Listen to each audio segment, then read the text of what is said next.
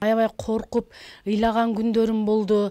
Мен бекер буну мен бекер тандаган экенмин бул менин профессиям эмес экен деп мен даже кранды токтотуп кеткен күндөрүм да болду.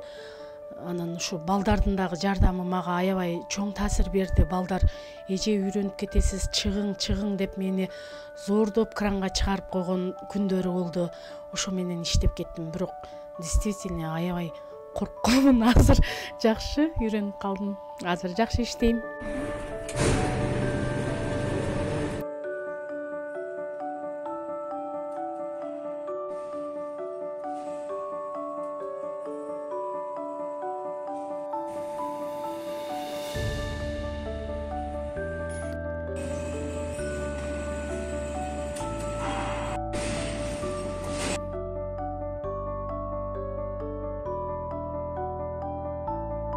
плиталарды тизип атканда ровно тизип атабыз го. Ошондо өтө кылдаттык менен иштеш керек да мен ушул нерсени үйрөнө албай калсам керек деп ушундай бирөө жарымды кокустан эми катуураак уруп коюп бирөө жарымды өлтүрүп коембу деген коркунуч болгон менде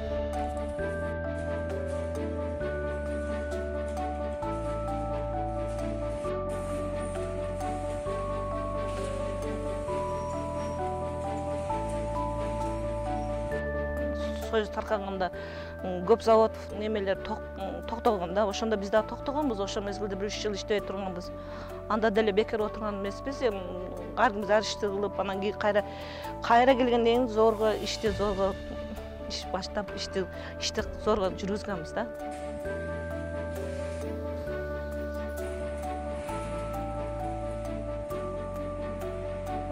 Эң жаманы бизге ушу иштеп аткан мезгилде же бетон көтөрүп же оор жүк көтөрүп келаткан мезгилде свет мындай свет өчүп калганда ошондо мага коркунучтуу себептен бетон илип турган болом да бадяны көтөрүп турган болом анан ошондо же күтүп турабыз күйбөсө же күйбөй калса ошо кранды калтырып коюп жерге түшүп кетет